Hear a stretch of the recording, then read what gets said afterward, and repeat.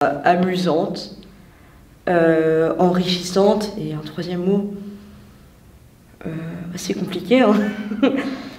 Euh, ouais non c'est hyper instructif.